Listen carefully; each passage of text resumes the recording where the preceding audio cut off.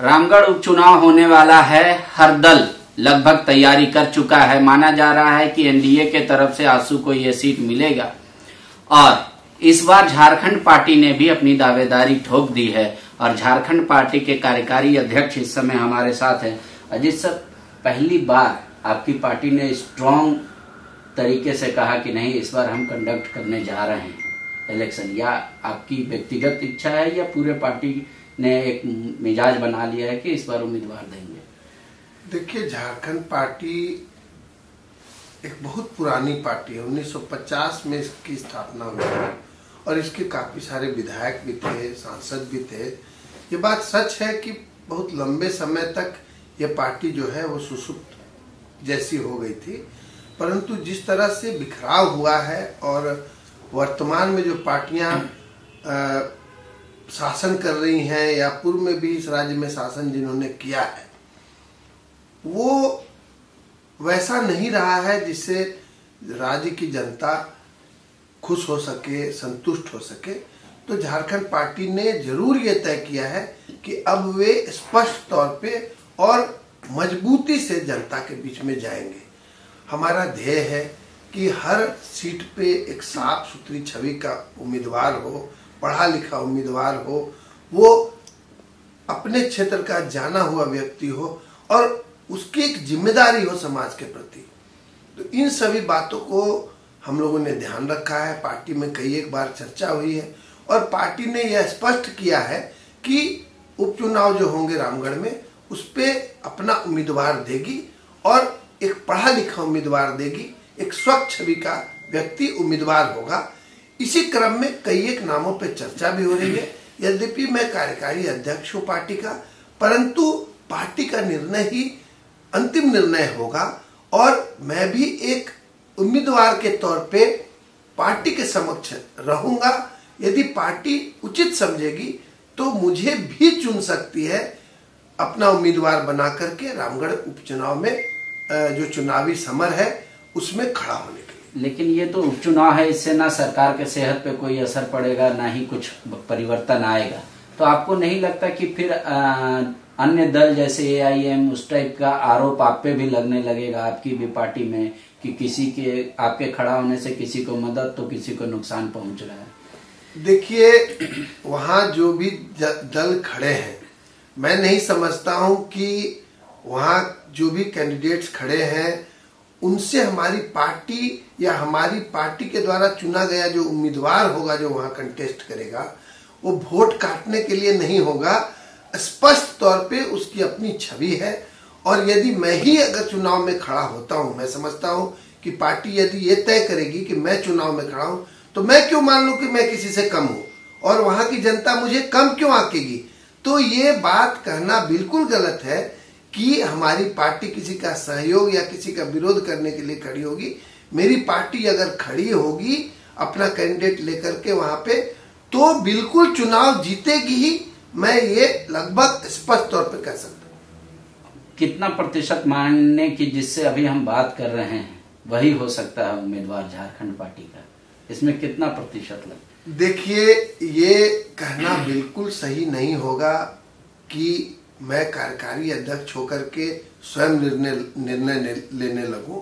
ये एक ऐसी व्यवस्था है, डेमोक्रेटिक व्यवस्था है, जहाँ पार्टी के काफ़ी सारे ऑफ़िस बेयरर्स होते हैं, अन्य पदाधिकारी होते हैं, ये सारे बैठ करके समेकित तौर पर हर विषयों पे चर्चा करने के बाद निर्णय लेंगे। और उस हिसाब से मैं बिल्कुल अपनी पार्टी के साथ रहूँगा। यदि पार्टी यह निर्णय लेती है कि मैं चुनाव लड़ू तो मैं ज़रूर लड़ूँगा। यदि पार्टी तय करती है कोई और उम्मीदवार तो मैं उस उम्मीदवार के पीछे खड़ा होकर के उतनी मेहनत करूँगा। देखिए, मैं वैसे ही काफ़ी व्यस्त रहता हूँ, वकालत के पैसे में काफ़ी काम है मुझे तो मैं निराश भी नहीं होऊँगा। यदि पार्टी मुझे नहीं चुनती है वहाँ चुनाव लड़ने के लिए, लेकिन मैं खुश होऊँगा, मैं काफ़ी प्रसन्न रहूँगा। यदि पार्टी ये तय करेगी कि मुझे रामगढ़ का उपचुनाव लड़ना है। कैंडिडेट पे अगर बात छोड़ भी दे तो क्या ये माना जाए कि 100 परसेंट ये तय हो गया कि झारखंड पार्टी का कोई भी उम्मीदवार ज़रूर होगा? ये लगभग तय है कि रामगढ़ उपचुनाव में झारखंड पार्टी अपनी उपस्थिति दर्ज कराएगी। किसी जाति वर्ग समुदाय संप्रदाय इन सभी बातों से उठ करके एक स्वच्छ छवि का कैंडिडेट ज़रूर होगा वहाँ पर, और एक ऐसी छवि का कैंडिडेट होगा जो बुद्धिजीवी वर्ग से आता है, पढ़ा लिखा है, युवा है और अनुभवी है। इस तरह का कैंडिडेट हम लोग ज़रूर चुन रहे हैं और हमारी पार्टी जो भी निर्णय लेगी, मैं उस निर्णय के साथ रहूँगा। एक आखिरी सवाल है मेरा। आप सामान्य तौर पे जब जाएँगे तो आप वही बातें कहेंगे चुनाव में, जो कॉन्स्टिट्यूशनली राइट है, जो सच्चाई है। लेकिन राजनीति भावनाओं से चलती है। लोग अगर सजा याफ्ता भी हो जाते हैं तो जनता की अदालत में ये सीना ठोक के जाते हैं कि हमें जनता की अदालत से न्याय मिलेगा। सुप्रीम कोर्ट की अदालत से भी बड़ा जनता की अदालत को बताया जाता है लोकतंत्र में। तो उस समय आपको क्या लगता है कि द्वंद की आप स्थिति में रहेंगे, क्या बोले, क्या नहीं बोले, बोलने से पहले सोचेंगे? या फिर जिस तरीके से अदालतों में आप वही बात बोलते हैं जो कॉन्स्टिट्यूशनली राइट है? सिर्फ़ वही बात को बोलेंगे या फिर आप नाप जोक के बोलेंगे? देखिए, ये अंतर अब राज्य की जनता को दिखाई देने वाला है, क्योंकि जो गैर संवैधानिक बातें होती हैं, वो सरफेस पे फेल करती हैं। यहाँ की नीतियाँ, ये राज्य सरकार के लुभावने वादे, ये सब कुछ यहाँ की जनता ने देखा है। इसलिए हमारी पार्टी या हमारा कोई भी कैंडिडेट किसी झूठ की बुनियाद पे खड़ा नहीं होगा और सच की बुनियाद पे कानून की बुनियाद पे संविधान की बुनियाद पे ही ऐसी व्यवस्था हो सकती है जिससे पूरे राज्य में अमन चैन की परिस्थिति हो। मैं आपको स्पष्ट करूँगा ये मैंने अपने वॉल पे भी लिखा है फेसबुक पे भी लिखा है ट्विटर पे लिखा है कि जब राज्य को चलाने वाले अधिकारी आईएएस, आईपीएस, स्टेट सर्विस के अथॉरिटीज या स्टेट पुलिस सर्विस के अधिकारी, इंजीनियर, डॉक्टर, सभी पढ़े लिखे अनुभवी लोग होते हैं तो उनके ऊपर बैठने वाले मंत्री या एमएलए जो है, उनको उनसे भी ज़्यादा बुद्धिजीवी होने की आवश्यकता है। यदि उनको चुनने में जनता गलती करती है, तभी नीतियाँ पथभ्रष्ट हो जाती हैं और नीतियाँ गिर जाती हैं। इससे राज्य का कोई विकास नहीं हो पाया है अब तक, और विगत 22 वर्षों में बहुत सारे ट्रायल एरर हुए हैं। लोक लुभावन घोषणाएँ की गई हैं जो जो सरफेस पे उतर नहीं पाई, जिसका कोई लाभ किसी को नहीं मिल पाया। राज्य की परिस्थिति बद से बदतर होती जा रही है और पूरे राज्य में भ्रष्टाचार व्याप्त हो गया है। इन सभी चीज़ों से बाहर निकलने के लिए हम लोगों ने तय किया है कि राज्य की बुद्धिजीवी, अनुभवी जनता, राज्य के वैसे लोग जो साफ़ सुथरी छवि के हैं और सच्चाई के पथ पे चलते हैं उन्हीं को हम लो, हम लोग चुन करके अपनी पार्टी का कैंडिडेट चुनेंगे और आगामी रामगढ़ उपचुनाव में भी और 2024 में होने वाले विधानसभा चुनाव में भी और उससे पहले के लोकसभा चुनाव में भी हम लोग अपनी कड़ी उपस्थिति और एक स्पष्ट उपस्थिति दिखाएँगे। मैं समझता हूँ सफलता भी ज़रूर हाथ लगेगी।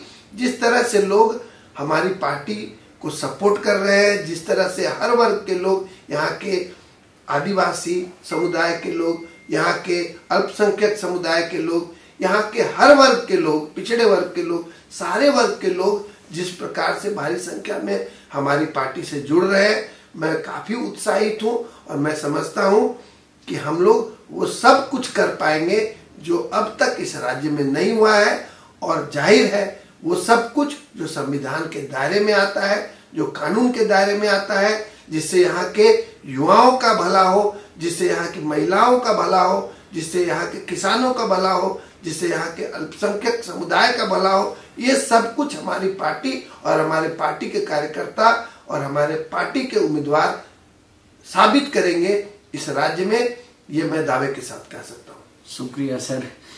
तो कभी बिहार में झारखंड पार्टी जैसे नेता प्रतिपक्ष देती थी अजीत कुमार जी का कहना है कि फिर से वो सुनहरा दिन झारखंड पार्टी का लौट कर आएगा। शुरुआत हम रामगढ़ उपचुनाव से कर रहे हैं, लेकिन आगे आने वाले राज्य में जो भी चुनाव होंगे, चाहे वो लोकसभा का हो या विधानसभा का हो, पार्टी अपनी दमदार उपस्थिति दर्ज करेगी। शुक्रिया। बायोम सालों से मेडिकल एग्ज़ाम प्रिपरेशन के लिए झारखंड में है सिर्फ़ एक नाम बायो जिसने दिए हैं highest number of selection from Jharkhand in NEET 2022 और अब बायो लेकर आए हैं नीट 2023 में अपियरिंग स्टूडेंट्स के लिए सुनहरा मौका ज्वाइन करें four months crash course starting from ninth January 2023 enrol now Biome a leading institute for pre medical exam Vivekananda Vidya Mandir school एक C B S CBSE affiliated English medium coed school है। हम शिक्षा के साथ संस्कार देते हैं The followup.in. Like, share, and subscribe. www